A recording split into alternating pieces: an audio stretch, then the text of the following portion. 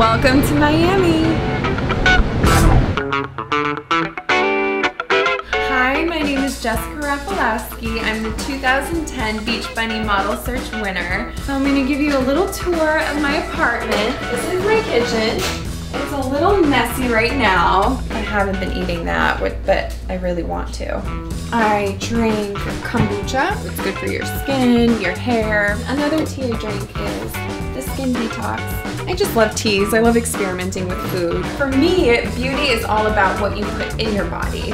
This would be like a lunch for me.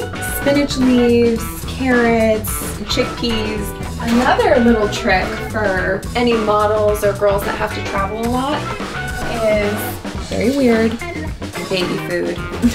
I always look at what I eat and make sure that I'm getting everything that I need. It's going to give me a longer career in this business and um, I'm going to feel great. This is my bedroom parents are staying here because they came to visit me for the weekend. So of course, whenever my parents in town, I have it no other way besides they stay with me.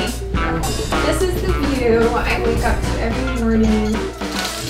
Always something going on. So it's just such an inspiring thing to actually see that all the time and be able to be a part of that. My Beach Bunny swimsuits. I love these. See what I got here. With this, you stand out on the beach and I mean, that's that's sexy. The scrunch scrunchbacks. Everybody in Miami loves the scrunch scrunchbacks because it shows the booty and gives it a great shape.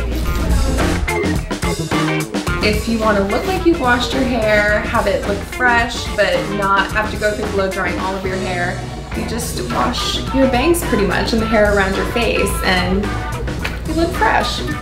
That sounds really dirty, but it's, it's not. I was chosen out of 10,000 entries, I was completely shocked.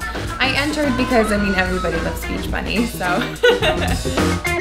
yeah. She's a daddy's, daddy's girl. Oh. She went to school, became Miss Florida, and all of a sudden she became model, and she's doing wonderful even so this world is completely different. I'm in the city of my dreams right now, so I'm really happy about that. I'm so excited for what's to come this year with Beach Bunny. I know there's going to be a lot to look forward to, more webisodes, so stay tuned. I look forward to seeing you on the runway.